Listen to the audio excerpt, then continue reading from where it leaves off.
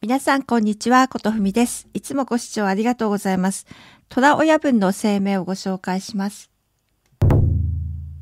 2023年5月23日、虎親分のトゥルスソーシャルから、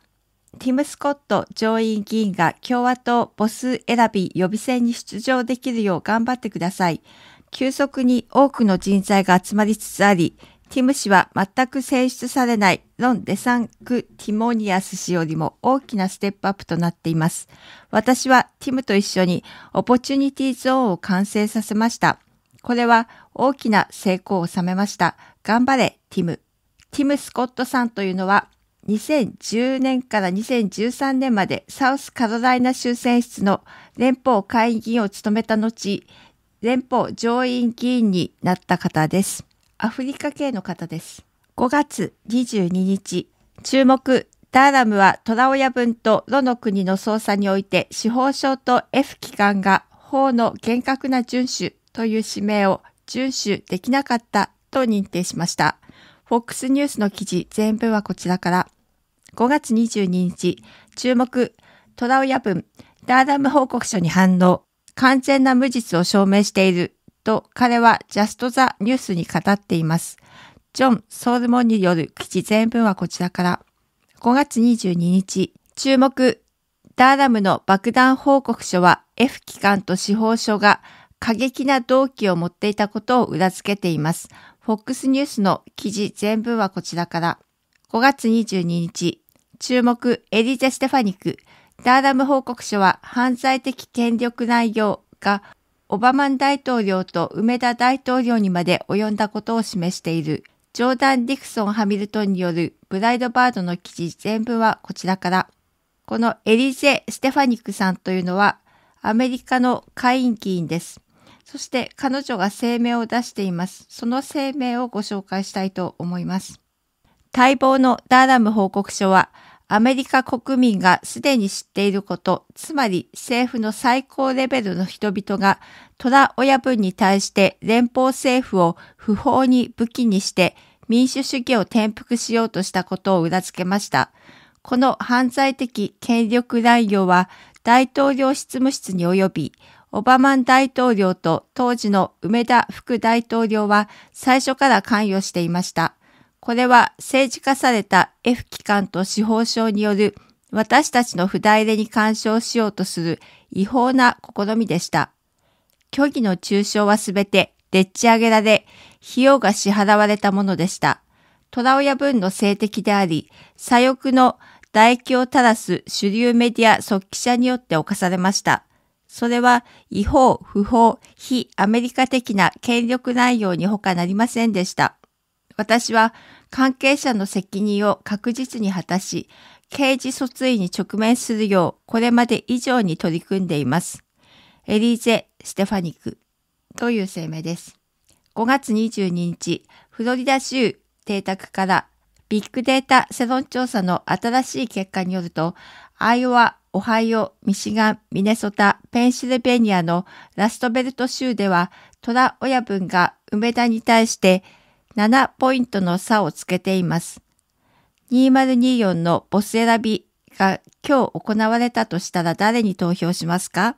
?45% トラオヤ分、38%梅田。この調査によると2024の本不代での対戦で梅田に勝つことができる共和党候補者はトラ親分だけだと言います。もう一つ、2024のアメリカ大統領不代入れが今日行われたとしたら誰に不代入れしますか ?38% が梅田、34%がロン・デサンティス。最後にエリーゼ・ステファニク会員議員のニュースを伝えているブライドバードの記事をかいつまみご紹介したいと思います。それにしてもこのオバマンっていうのは超極悪人ですよね。エリーゼ・ステファニクダーラム報告書は犯罪的権力乱用がオバマン大統領と梅田大統領にまで及んでいることを示しています。という記事です。エリーズ・ステファニック下院議員共和党ニューヨーク州は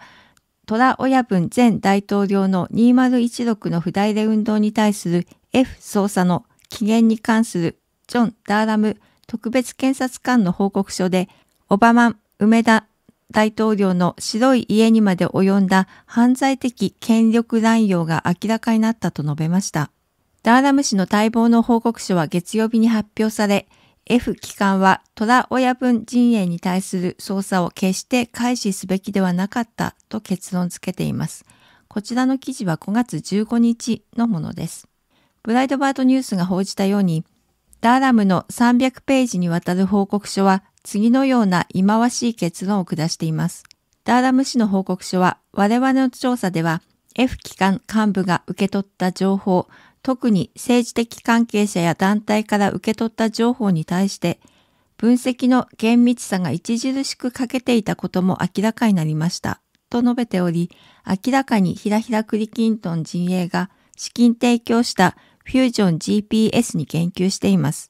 F 機関がトラ親分の操作に利用した共謀を主張するとてもくだらない関係書類。報告書はまた、ジョン・ブレナン元 CIA 長官がこの問題についてオバマン前大統領と国家安全保障高官らにどのように説明したかについても詳述しています。ブレナン氏はオバマン政権に対し20167月26日にヒラヒラクリキントン氏がどの国治安当局の介入を主張するスキャンダルを先導してトラ親分を中傷する外交政策顧問の一人からの提案を承認した疑いについて説明しました。ダーラム氏の300ページにわたる報告書は、ジョン・ブレナン CIA 長官と他の情報当局者は、オバマン氏と他の国家安全保障当局者に説明を行い、迅速に情報の重要性を認識したと付け加えました。ステファニック氏はトラ親分陣営に対する F 機関の捜査に関与した関係者を非難し、オバマン大統領と当時の梅田副大統領が最初から捜査に関与していたと非難しました。待望のダーラム報告書はアメリカ国民がすでに知っていたことを裏付けました。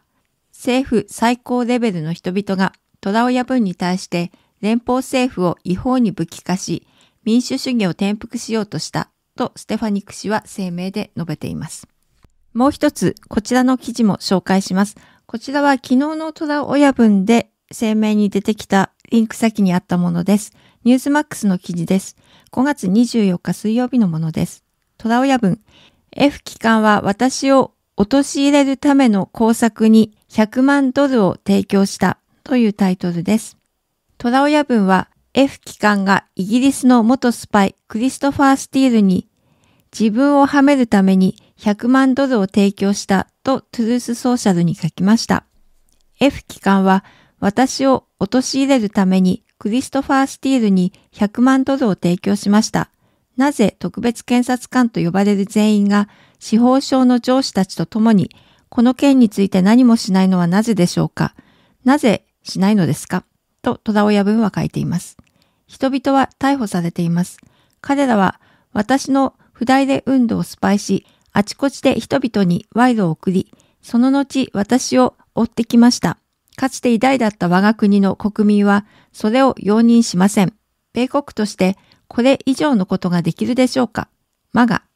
と書き込んでいます。ダーラムの報告書は、どの国の共謀の証拠を提出するために、スティール氏に100万ドルが提供されたというトラ親分の主張を裏付けるものとなりました。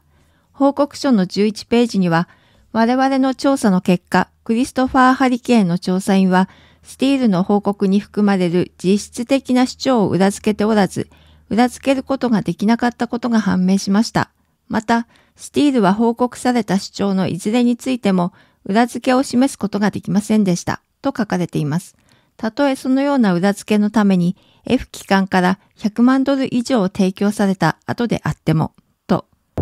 以上、今回はここまでです。ありがとうございました。それではまた。